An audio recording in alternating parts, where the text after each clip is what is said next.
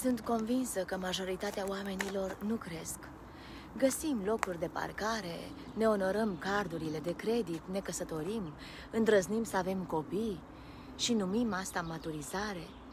Cred că ceea ce facem este, de fapt, doar să îmbătrânim. Purtăm acumulări de ani în trup și pe chip, dar, în general, adevăratele noastre fapte sunt copiii din interior. Pentru că copiii noștri sunt inocenți și timizi ca magnoliile. Poate că ne portăm sofisticați și lumești, dar cred că ne simțim în siguranță atunci când intrăm în noi și ne găsim o casă, un loc unde ne este nouă bine și poate singurul loc în care ne este cu adevărat bine sunt copiii noștri interiori. Maya Angelou